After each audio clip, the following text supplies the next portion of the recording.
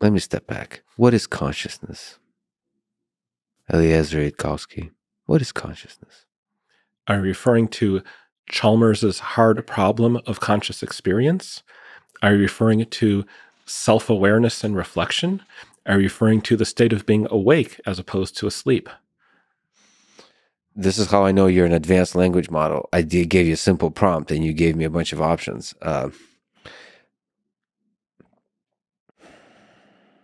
I think I'm referring to all with including the hard problem of consciousness. What is it in its importance to what you've just been talking about, which is intelligence? Is it um, a foundation to intelligence? Is it intricately connected to intelligence in the human mind, or is it a, is it a side effect of the human mind? It is a useful little tool like we can get rid of. I guess I'm trying to get some color in your opinion of how useful it is in the uh, intelligence of a human being, and then try to generalize that to AI, whether AI will keep some of that. So I think that for there to be like a person who I care about looking out at the universe and wondering at it and appreciating it, it's not enough to have a model of yourself. I think that it is useful to an intelligent mind to have a model of itself, but I think you can have that without pleasure, pain, aesthetics, emotion, a sense of wonder. Um, like, I think you can have a model of like how much memory you're using and whether like this thought or that thought is is like more likely to lead to a winning position. And you can have like the use i think that if you optimize really hard on efficiently just having the useful parts. There is not then the thing that the thing that says like, I am here, I look out, I wonder, I feel happy in this, I feel sad about that.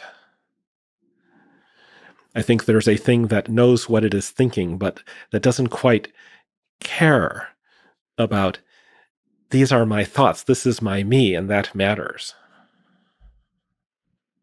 Does that make you sad if that's lost in AGI?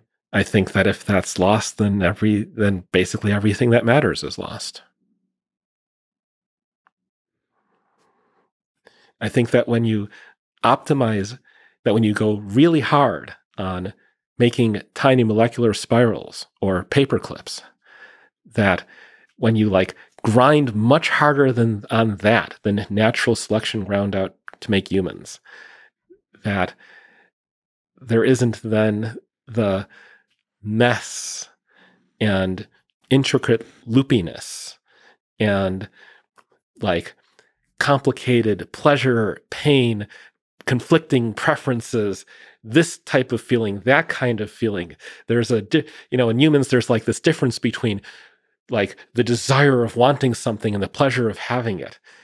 And it's all these like evolutionary kludges that came together and created something that then looks of itself and says like this is pretty this matters and the thing that i worry about is that this is not the the thing that happens again just the way that it happens in us or even like quite similar enough. That there's that there are like many basins of attractions here and we are in the space of an attra- of attraction like looking out and saying like ah what a lovely basin we are in.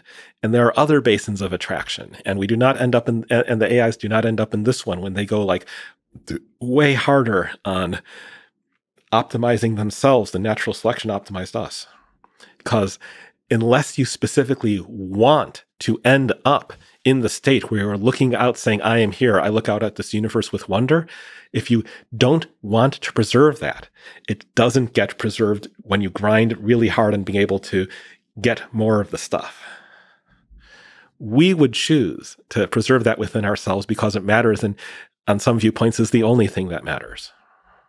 And that in part is um, preserving that is in part a solution to the uh, human alignment problem. I don't. I, I think the human alignment problem is a terrible phrase because it is very, very different to like try to build systems out of humans, some of whom are nice and some of whom are not nice, and some of whom are trying to trick you, and like build a social system out of like large populations of those who are like all at basically the same level of intelligence. Yes, you know, like IQ this, IQ that, but like that versus chimpanzees. yeah.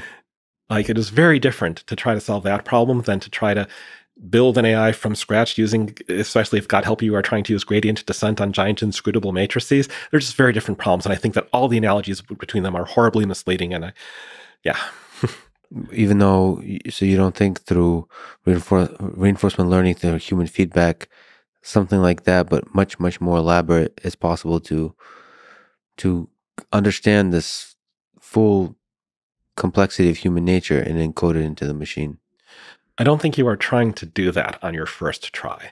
I think on your first try, you are like trying to build an, you know, okay, like probably not what you should actually do, but like let's say you were trying to build something that is like AlphaFold 17 and you are trying to get it to solve the biology problems associated with making humans smarter yeah. so that humans can like actually solve alignment.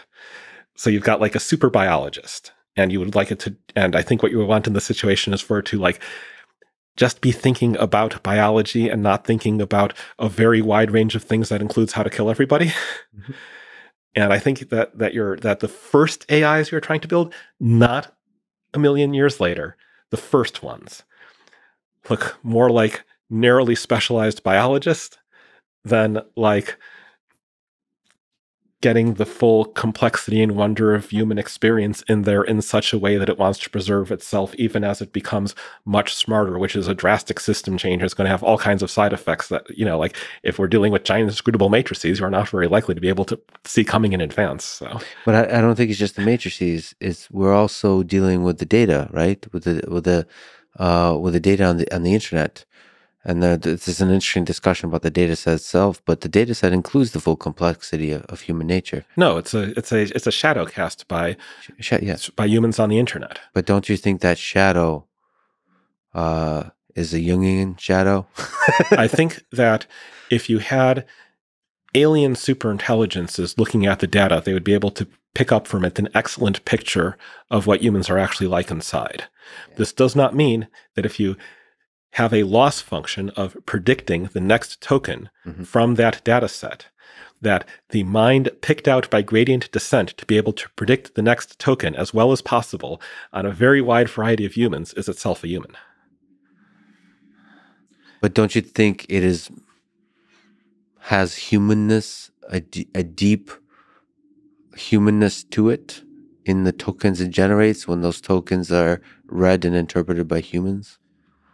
I think that if you sent me to a distant galaxy with aliens who are like much, much stupider than I am, so much so that I could do a pretty good job of predicting what they'd say, even though they thought in an utterly different way from how I did, that I might in time be able to learn how to imitate those aliens if the intelligence gap was great enough that my own intelligence could overcome the alienness.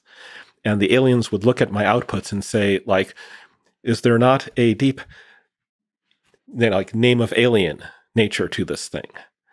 And what they would be seeing was that I had correctly understood them, but not that I was similar to them.